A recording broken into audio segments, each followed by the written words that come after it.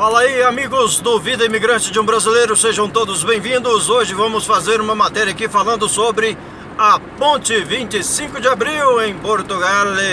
Aumente aí a sua tela do computador e já vou lhes solicitando que se inscreva no canal. Se você ainda não é inscrito, compartilhe com os amigos, clica aí no sininho para estar sempre recebendo novidades aqui de Portugal. Estamos iniciando aqui a ultrapassagem, ou melhor, a passagem sobre o Rio Tejo, saindo de Portugal, sentido Almada. Esta é a ponte 25 de abril. Para quem não sabe, essa ponte 25 de abril, ela é uma ponte rodoferroviária que atravessa o Rio Tejo, ligando Lisboa a Almada. Ela tem aproximadamente 2,5 km de extensão. É, é uma ponte rodoferroviária porque aqui onde estamos passam os carros, né? A rodovia. E logo abaixo dos nossos pneus está uma ferroviária, uma, uma linha ferroviária, onde passam os trens, os comboios de Portugal. É, essa linha, esse lance maior e mais alto, a ponte pode chegar, pode chegar não, ela chega a 70 metros de altura. Isso mesmo, ponte 25 de abril. Lembrando que ela se chamava Ponte Salazar. É, até 1974 essa ponte se chamava Ponte Salazar. Ganhou o nome de 25 de abril em homenagem à Revolução de 25 de abril de 1974.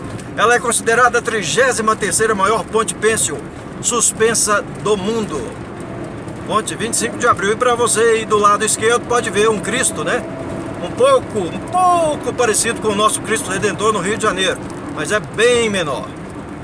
É, é um símbolo aqui da cidade de Almada, o Cristo Redentor aí. A ponte tem seis vias, sendo é, duas mãos, né? Para ir e voltar em cada mão três vias, totalizando seis vias. Uma ponte muito, muito bem feita, toda de ferro, bem estruturada, bem sinalizada e é um orgulho aqui dos portugueses, ponte 25 de abril. Logo à frente é, tem o, a praça de pedágio, né? Para nós que estamos indo, não tem um pedágio.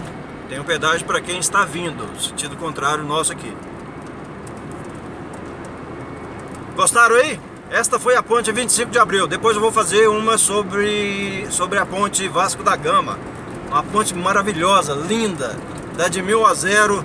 Dá de mil a zero na ponte Rio-Niterói.